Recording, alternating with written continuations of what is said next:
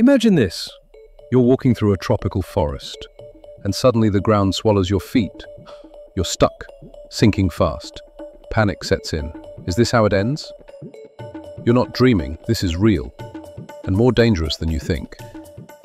Quicksand looks solid, but it's a trap, made of sand, clay and water. It behaves like a liquid when disturbed. Step on it, and you'll sink like you're in a nightmare. The more you move, the deeper you go. Your legs get pulled in by suction. The thick slurry clings to your body, making escape nearly impossible. It's like being trapped in wet cement. As your lower body disappears, pressure builds, blood circulation slows, muscles cramp, your heart races. Fear makes you breathe faster, but there's no help in sight. Yes, if you know what to do, stay calm, lean back slowly to spread your weight. Use your arms to gently paddle and shift your legs upward. Don't fight it, float your way out. You won't drown, unless you're pulled under by your own panic. Quicksand doesn't kill, panic does.